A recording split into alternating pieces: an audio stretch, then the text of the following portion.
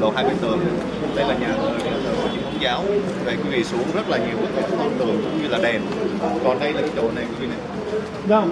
để mà cái chỗ này cái cái cái chỗ này quý vị chúng ta thấy một cái chỗ này đây. Là một cái hang động nhỏ nhỏ.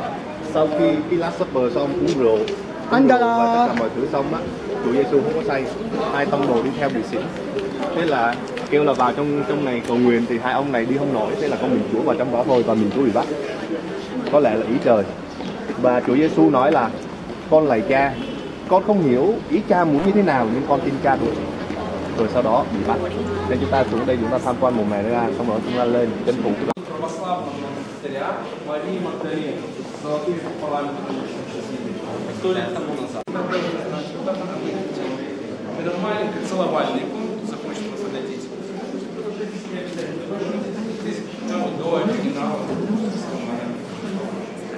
Что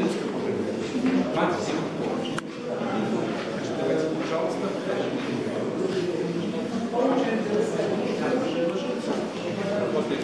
Хотя обычно как молятся, конечно, когда вы там стоите, даже не скажите